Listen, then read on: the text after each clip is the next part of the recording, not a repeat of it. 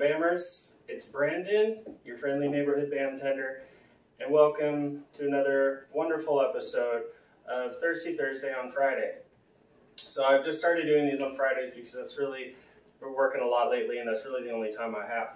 So uh, I asked in our uh, uh, Discord chat over there, if you guys haven't haven't been over there, you should definitely come join us on Discord. We're having a lot of fun.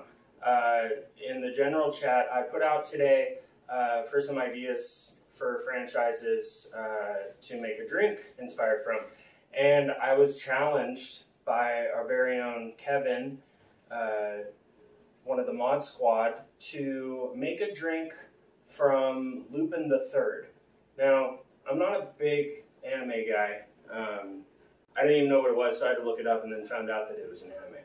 Um, if you've watched my videos, you've seen I haven't done a whole lot of anime uh, drinks, anime-inspired drinks, and I'm sorry about that.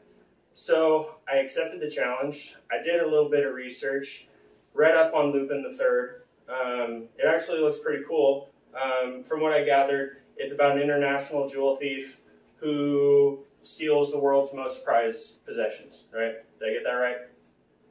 So, in order to come up with a drink uh, for this, I, I, I, did a little digging and found that found out that in part three, uh, he meets a gorgeous American woman right at the bar, and he's in his uh, uh, disguise for the night as bartender, and he makes her a mystery drink um, called the Revenge because she's uh, seeking revenge, right?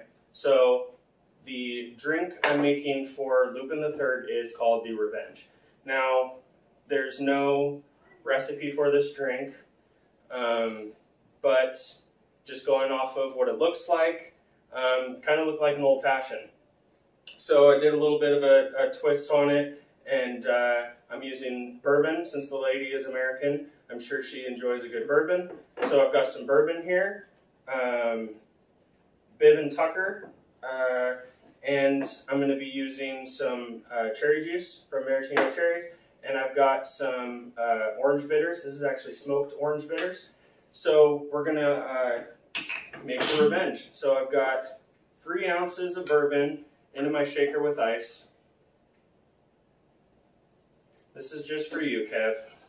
I don't mind a good bourbon. I don't drink a lot of bourbon, uh, but this is a pretty good one that I picked up a while back.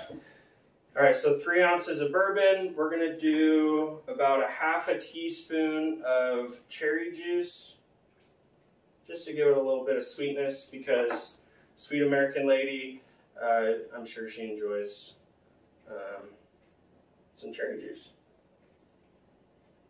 Three dashes of bitters. All right. And then uh, we're to do, uh, and then we're just to shake it. So we're to shake it over the ice.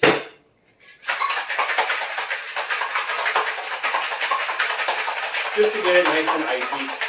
How's everyone's week? I'm really happy to be off. I do have to work on Sunday, which sucks. So I'm to enjoy uh, what time off I do have. All right. So shaken over ice. Oh, got my strainer over here. We're going to strain into our cocktail glass. Give us a nice little pink color. There we go. And then we'll garnish it. How about we garnish it with a maraschino cherry? can get one out. There we go. Bam. And a wedge. I don't have orange wedge, so I'm just going to do lime wedge for garnish. And there you have the Revenge. Kev, this one's for you. I'd say that looks uh, pretty spot on from what I saw of uh, Lupin the Third. Yeah, I mean it tastes it tastes great. It tastes like an old fashioned. So uh, if you guys want to try this out, let me know what you think. Uh, thank you, Kevin, for the challenge. Uh, keep them coming. Uh, I love to be challenged and, and come up with uh, some tasty drinks for you guys. So thank you for watching. Uh, don't forget, join us over in Discord. We're having, having a good time over there. Uh, anyways, I hope everyone has a great weekend. Don't forget to drink responsibly and bam on.